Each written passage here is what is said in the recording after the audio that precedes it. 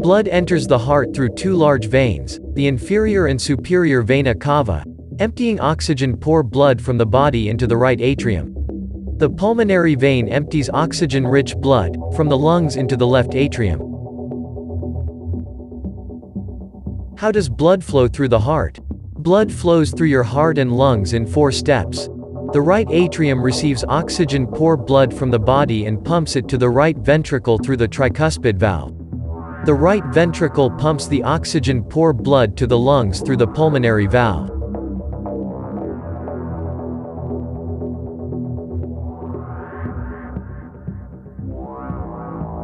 Arterial blood flow velocities ranging from 4.9 to 19 cm sec were measured, while venous blood flow was significantly slower at 1.5 to 7.1 centimeters sec. Taking into account the corresponding vessel diameters ranging from 800 microm to 1.8 millimeters, blood flow rates of 3.0 to 26 milliliters per minute in arteries and 1.2 to 4.8 milliliters per minute in veins are obtained. The pressure is greatest when blood is pumped out of the heart into the arteries. When the heart relaxes between beats, blood is not moving out of the heart, the pressure falls in the arteries.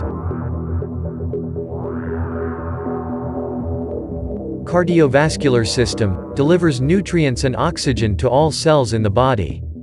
It consists of the heart and the blood vessels running through the entire body. The arteries carry blood away from the heart. The veins carry it back to the heart. The system of blood vessels resembles a tree.